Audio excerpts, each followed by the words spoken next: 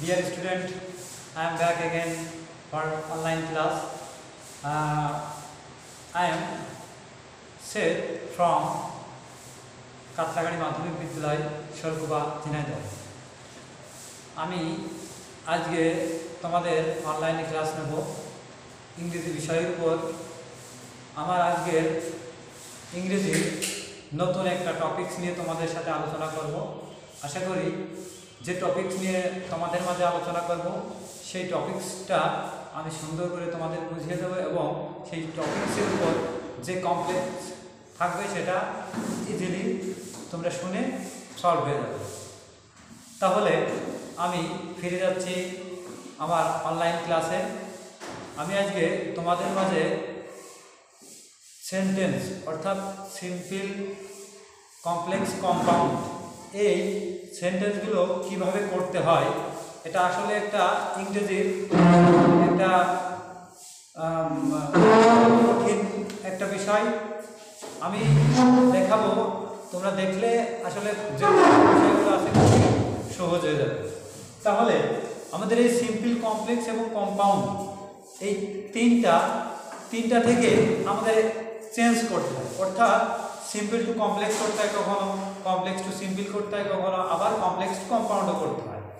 তো, এই বিষয়গুলো এই বিষয়গুলো কীভাবে হয়, আমি সেইটাই তোমাদের দেখাবো। তো এই এই সিম্পল কমপ্লেক্স কম্পাউন্ড করা, আমাদের যে বিষয়গুলো আগে জানতে হবে, সেটা হচ্ছে সেন্টেন্স এবং ক্লজ অর্থাৎ সেন্টেন্স এবং ক্লজকে কেন্দ্র করে এই সিম্পল কমপ্লেক্স কম্পাউন্ডকে চেঞ্জ করতে হবে তাহলে আমি তোমাদের শিখাবো আজকে সেন্টেন্স কাকে বলে। অর্থাৎ আমাদের সেন্টেন্স হচ্ছে, আমরা যদি ট্রান্সফরমেশনের ভাষায় বলতে যাই, তাহলে সেন্টেন্স তিন প্রকার সেটা হচ্ছে সিম্পল সেন্টেন্স কমপ্লেক্স সেন্টেন্স এবং কম্পাউন্ড সেন্টেন্স তাহলে আমি তোমাদের আগে সিম্পল সেন্টেন্সের একটু ধারণা দেবো।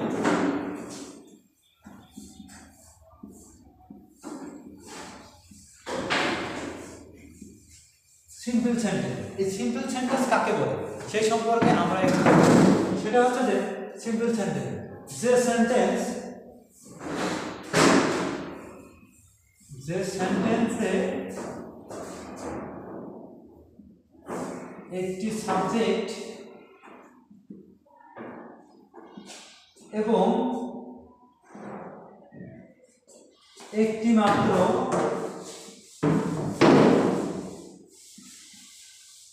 একটি মাত্র ফাইনাইট ভাগ থাকে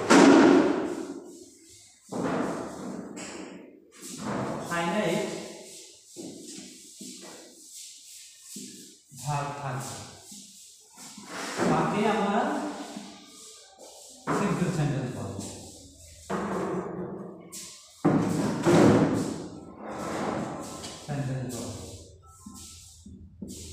তাহলে আমাদের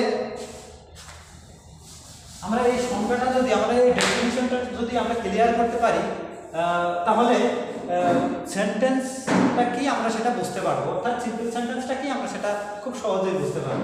তাহলে, আমি একটি ডেফিনেশন দিয়েছি, তো এই ডেফিনেশনটা তোমরা একটু ভালো করে মাথায় রাখো। সেটা যে সেন্টেন্সে একটি সাবজেক্ট এবং একটি মাত্র ফাইনাইট ভার্ব থাকে আমরা কিন্তু সবাই সাবজেক্ট ছিল, তাই তো? আমরা সেন্টেন্সের শুরুতে যে শব্দটি বসে, সেটা আমরা সাধারণত সাবজেক্ট হিসেবে ধরে থাকি।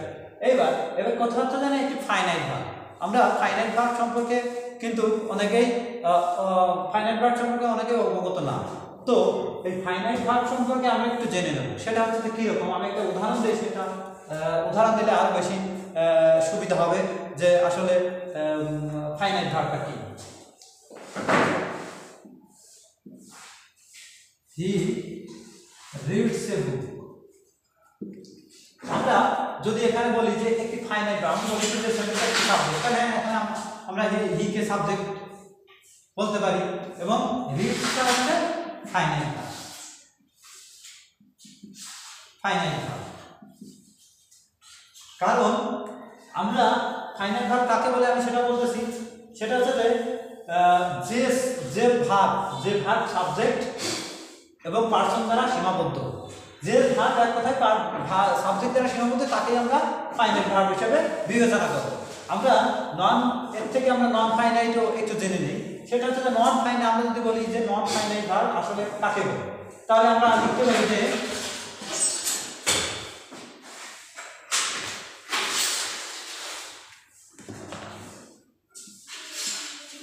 he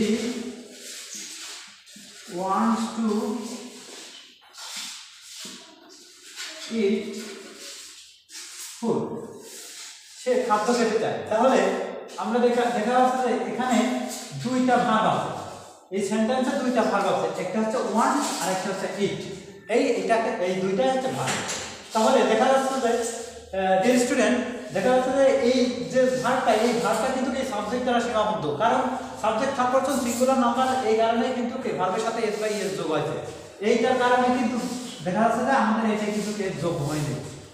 সুতরাং এই ভাগটা এই সাবজেক্ট দ্বারা সীমাবদ্ধ। আর এই ভাগটা এই সাবজেক্ট দ্বারা সীমাবদ্ধ নয়। তাহলে আমরা এটাকে বলব ফাইনাইট ভাগ এবং এটাকে বলব নন ফাইনাইট ভাগ তাহলে আমরা সিম্পল সেন্টেন্স কাকে বলে ফাইনাইট ভাগ কাকে বলে এবং নন ফাইনাইট ভাগ কাকে বলে আমরা কিন্তু সেটা ক্লিয়ার হয়ে গেলাম। আশা করি নেক্সট টাইমে আর কখনো ভুলবে না।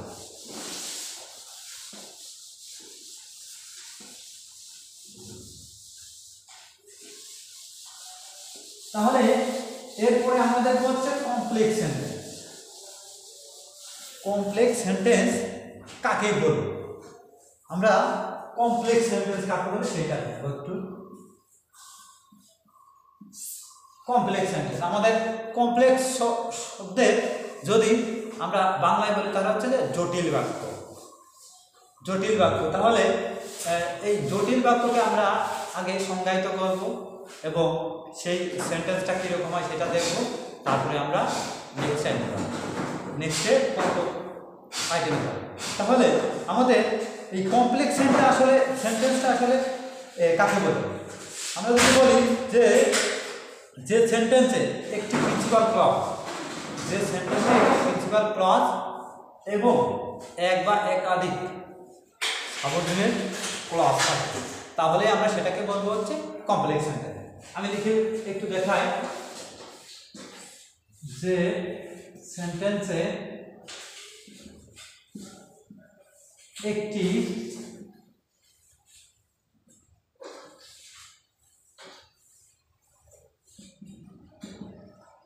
প্রিন্সিপাল যে সেন্টেন্স আমরা অন্যভাবেও একটু ধারণা নিতে পারি, সেটা হচ্ছে যে যে সেন্টেন্সে একটি প্রিন্সিপাল ক্লজ এবং এক বা একাধিক সাবঅর্ডিনেট ক্লজ আমরা এরকম লিখতে পারি। আমরা অন্যভাবে একটু লিখতে পারি। তাহলে আগে আমরা এইটা একটু দেখে নিই যে যেভাবে আমাদের সুবিধা হয় আমরা সেইভাবেই সেটাকে দেখাবো তাহলে যে সেন্টেন্সে একটি প্রিন্সিপাল ক্লজ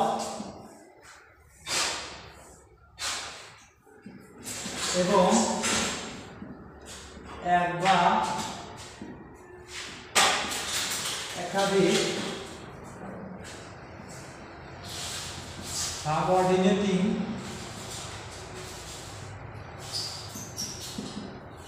রিলেটিভ ক্লজ থাকে। থাকে, তাকে আমরা কমপ্লেক্স সেন্টেন্স বলি। কমপ্লেক্স সেন্টেন্স গুড এখন আমরা আমি কিন্তু আমি কমপ্লেক্স সেন্টেন্স এই সেন্টেন্স দেখার পরে এরপরে আমি কিন্তু ক্লজ দেখাবো তাহলে আমরা ক্লজ এবং সেন্টেন্স দুটাই দুইটাই দুটার উপর করে। দিব তাহলে আমরা এই আগে সেন্টেন্স দেখে নিই, তাহলে সেন্টেন্সের এবং ক্লজ দেখলে আমরা দুইটাকে খুব ভালোভাবে বুঝতে পারব। তাহলে আমরা বলতে পারি যে সেন্টেন্সে একটি মাত্র প্রিন্সিপাল ক্লজ এবং বা একাধিক সাবঅর্ডিনেট ক্লজ থাকে, সেই ক্ষেত্রে আমরা সেটাকে বলব কমপ্লেক্স সেন্টেন্স আমি একটা উদাহরণ দিই যেমন এক্সাম্পল এক্সাম্পল যদি দিতে তাহলে although he is poor he is honest তাহলে আমরা দেখতেছি, এটা একটা প্রিন্সিপাল ক্লজ এবং এক বা একাধিক, এরপরে আরও আরও ক্লজ থাকতে পারে। এবং এরপরে আরও ক্লজ থাকতে পারে। যেমন আমি আরেকটা উদাহরণ দিলে আরও ভালো ক্লিয়ার হবে। সেটা আমরা এগিয়ে দেখাবো। তাহলে although he is rich is honest তাহলে আমরা কমপ্লেক্স সেন্টেন্স কাকে বলে? সেই কমপ্লেক্স সেন্টেন্সটা কিন্তু আমরা দেখলাম। এবার আমরা দেখব হচ্ছে কম্পাউন্ড সেন্টেন্স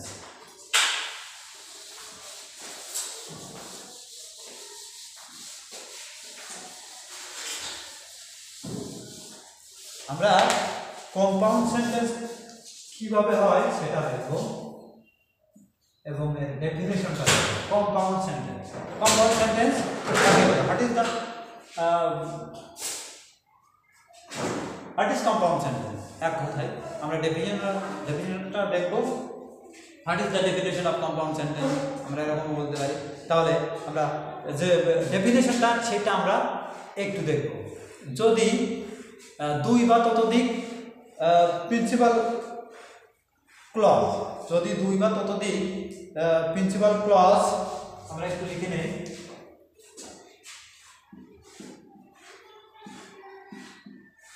দুই বা ততোধিক প্রিন্সিপাল ক্লজ কোনো কোঅর্ডিনেটিং coordinating.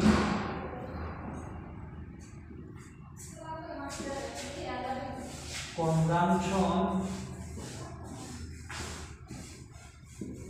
দ্বারা যুক্ত হয়। তখন তাকে আমরা কম্পাউন্ড সেন্টেন্স বলব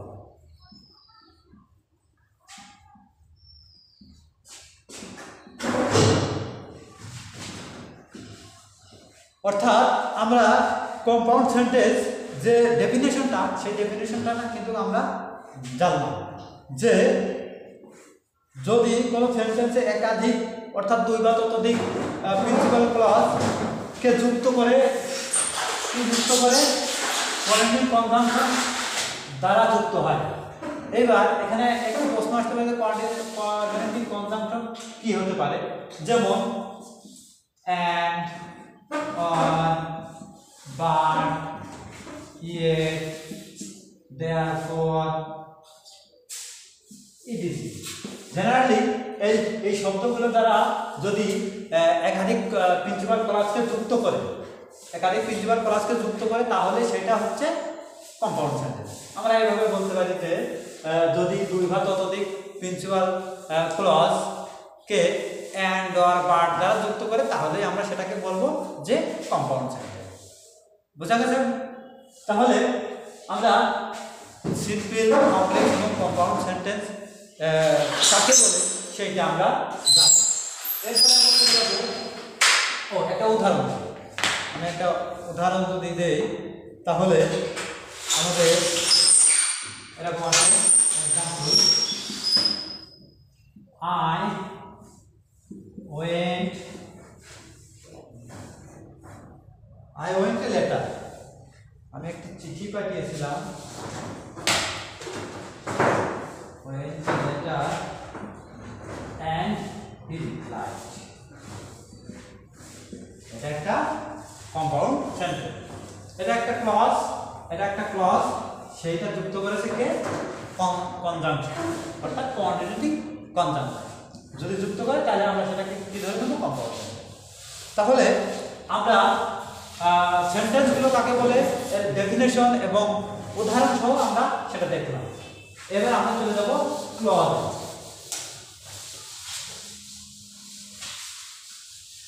ক্লজ ক্লজ কাকে বলে? আমরা প্রথমে জানব হচ্ছে প্রিন্সিপাল ক্লজ প্রিন্সিপাল ক্লজ কাকে বলে আমরা একটু দেখি যে সেন্টেন্সে একটি সাবজেক্ট এবং একটি ফাইনাইট ভার্ব থাকে। ফাইনাইট ভার্ব থাকে। তাকে আমরা প্রিন্সিপাল ক্লাস বলব। প্রিন্সিপাল ক্লাস ফুল অর্থাৎ আমি আগের উদাহরণ যেগুলো দেখালাম, সেটা আমরা লিখতে পারি এবং অন্য উদাহরণ লিখতে পারি এভরিবডি লাইকস একটা উদাহরণ যদি বলি, তাহলে everybody likes this is the principal clause তাহলে আমরা বলব না যে প্রিন্সিপাল ক্লাস কাকে বলে, এবং প্রিন্সিপাল ক্লাস খুবই সহজ। আমি বলেছি একটি সাবজেক্ট থাকবে, এখানে একটি সাবজেক্ট আছে, এখানে ভার্ব আছে, যে ভার্বটা সাবজেক্ট দ্বারা সীমাবদ্ধ, সেটা হচ্ছে ফাইনাইট ভার্ব আর তার ফাইনাইট ভার্ব সম্পর্কেও বলেছি। সুতরাং আমি প্রিন্সিপাল ক্লাসের যে সংজ্ঞাটা ডেফিনেশনটা আমি দিয়ে দিলাম। আশা করি প্রিন্সিপাল ক্লাস সম্পর্কে কারোর ভুল হবে না। আমরা চলে যাব হচ্ছে subordinating clause. subordinating clause subordinating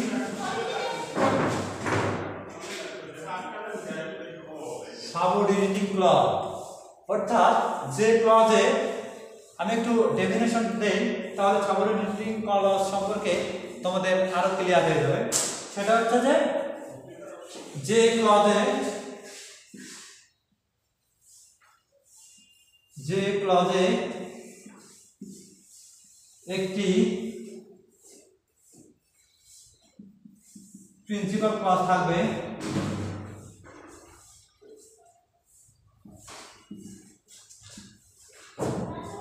principal clause থাকবে এবং এক বা একাধিক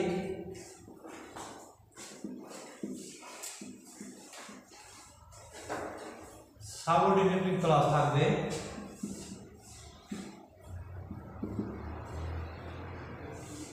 ডিনেটিং subordinating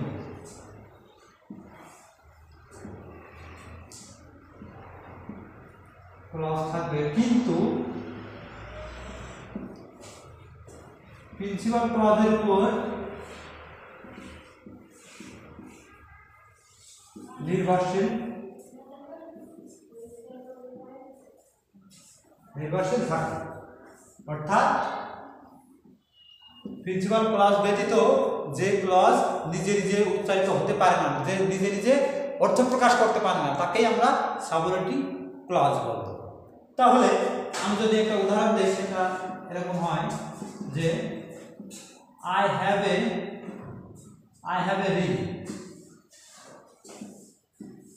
which is made of gold. আমি একটু আন্ডারলাইন করে দিচ্ছি, বুঝতে সুবিধা হবে। This is a principal clause and that is a subordinating clause তাহলে আমরা যদি আমরা যদি একটু ঢেকে ঢেকে রাখি এবং আমরা যদি বলি যে which is made of gold আমরা যদি এর মানে অর্থ করতে চাই যে which is made of gold কোনটা সোনা দিয়ে তৈরি, কোনটা সোনা দিয়ে তৈরি? তাহলে একটা কিছু সোনার আকাঙ্ক্ষা থেকে যাচ্ছে। তাহলে সেই ক্ষেত্রে আমরা প্রিন্সিপাল ক্লজ যদি না থাকে, তাহলে কিন্তু আমাদের এই আকাঙ্ক্ষাটুকু পূরণ হচ্ছে না। তাহলে আমাদের আকাঙ্ক্ষাটুকু পূরণ করতে অবশ্যই প্রিন্সিপাল ক্লজের দরকার। এই জন্যই আমি সংজ্ঞাটা আমরা এরকম করে বলতে পারি যে যে ক্লজ প্রিন্সিপাল ক্লজ ব্যতীত নিজে নিজে অর্থ প্রকাশ করতে পারে না, তাকে আমরা সাবঅর্ডিনেটিভ ক্লজ বলব।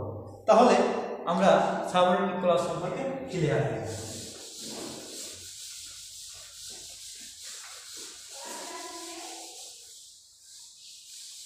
এইবার আমরা চলে যাব কোঅর্ডিনেটিং কনজাংশন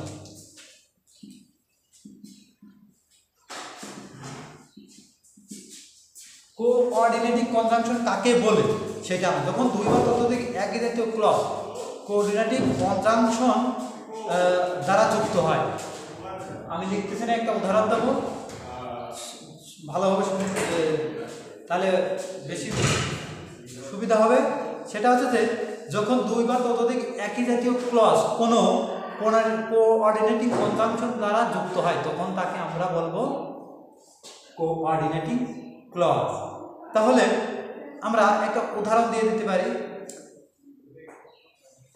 এটাকে এরকমভাবে লিখতে পারি যে I went sorry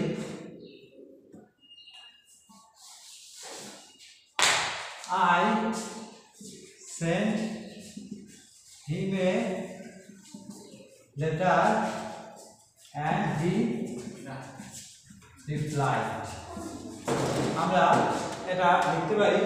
আমি একটি চিঠি তাকে পাঠিয়েছিলাম এবং সে উত্তর দিয়েছিল।